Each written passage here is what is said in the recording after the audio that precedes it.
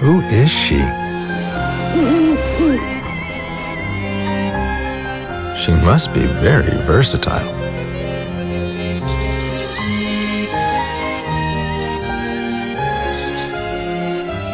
Very lightweight. And quiet, too.